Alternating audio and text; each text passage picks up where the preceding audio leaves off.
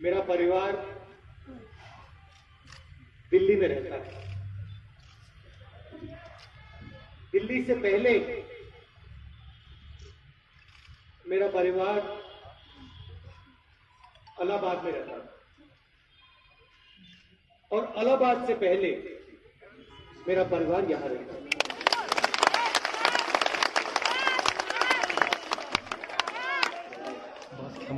तो मैं ये कह सकता हूँ, ज़्यादा समय में यहाँ नहीं आया।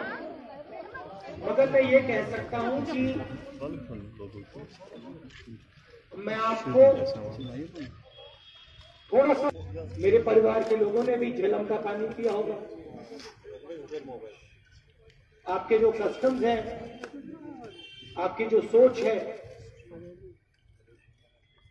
जिसको हम कश्मीरियत कहते हैं वो थोड़ी सी मेरे अंदर भी है। मुझे लगता है कि मैं वापस आ रहा हूँ घर आ